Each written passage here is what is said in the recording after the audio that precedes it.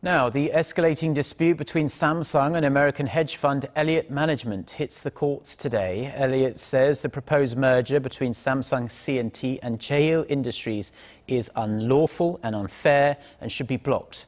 Shin Se-min reports.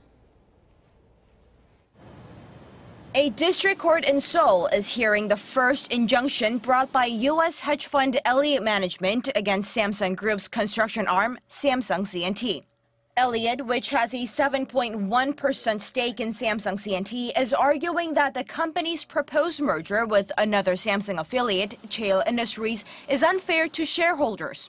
It claims the numbers don't add up and Samsung C&T's stockholders are getting offered well under the odds for their shares. Elliott also takes issue with the recent sale of Samsung C&T's treasury shares to the merger-friendly local manufacturer KCC, an attempt by Samsung C&T to sway the merger vote their way at a shareholders meeting set to take place in mid-July. Given the circumstances, those in legal circles believe Samsung has a stronger case, at least in the first hearing.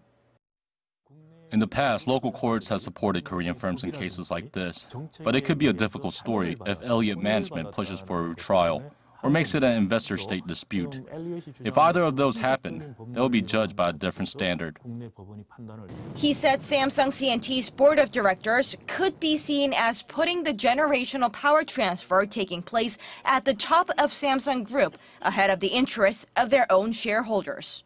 Experts say one of the lessons Korean conglomerates should take away from Samsung's legal battle is that the corporate governance should most importantly reflect the interests of their shareholders, something that many family-driven businesses need to make way for.